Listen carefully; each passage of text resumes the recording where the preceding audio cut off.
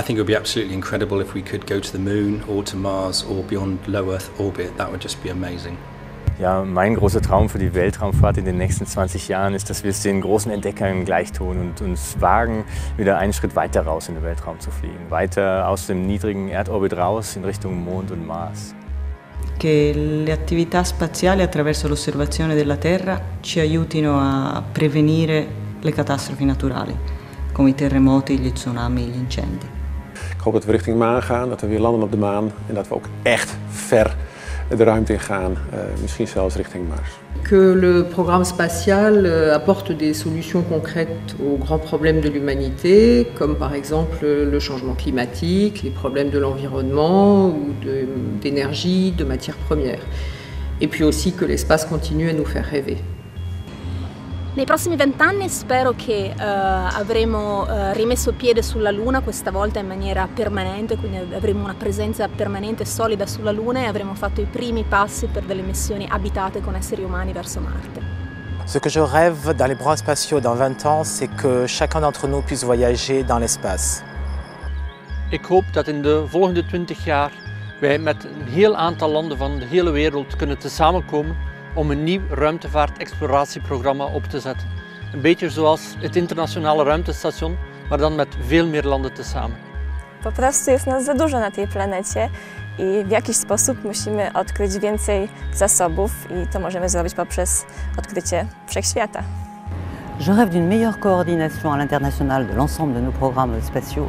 Et puis je rêve surtout d'une exploration euh, ambitieuse parce que vraiment je pense que l'espace peut nous permettre de repenser notre humanité.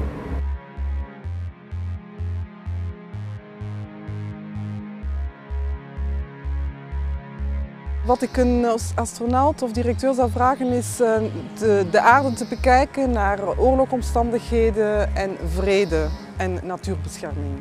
Versucht moderne Satelliten net zo, net zo weit op de Weltall raus zu voeren, mee vier Dämmwelt op der Erde zu suchen. Zkuste se víc zaměřit na podporu velkých privátních projektů, jako je SpaceX v Americe. Eh, jeg beundrer det dere gjør, og jeg syns det er eh, veldig viktig at vi får mer kunnskap om verdensrommet. ¿Qué puede hacer la ESA para que os conozcamos mejor? Keep talking to young people and keep talking to the new generation coming through and keep them interested and inspired by what you do in space. Je dirais, je pense, c'est que bah, personnellement, en tant que jeune, on n'est pas du tout euh, concerné ou on n'a pas vraiment d'informations sur ce domaine. Ça pourrait être quelque chose de très intéressant. Donc mon conseil, ce serait vraiment de nous donner envie bah, d'en apprendre plus sur, euh, bah, sur l'espace en général.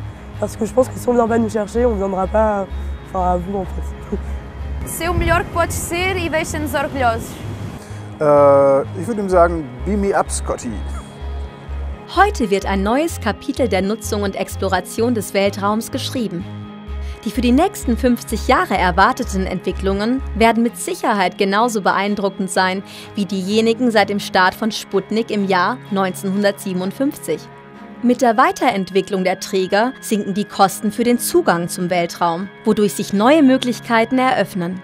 Die technologischen Weiterentwicklungen, von denen wir alle auf der Erde profitieren, wirken sich auch auf die Raumfahrt aus. Und es bahnt sich eine weitere Revolution an. Künftig können Missionen von einer Vielzahl von Teams, Unternehmen und Personen vorgeschlagen und verwirklicht werden, die bis dato noch keine Raumfahrtakteure sind. Bereits heute können passionierte Amateurteams für einen fünfstelligen Betrag Mikrosatelliten ins All schicken. Und auch bei den bei Raumfahrtmissionen erzeugten Daten stehen große Veränderungen bevor, da diese bald von jedermann bearbeitet werden können. Schon jetzt ist dies bei zahlreichen öffentlichen auf der Erde erstellten Daten der Fall.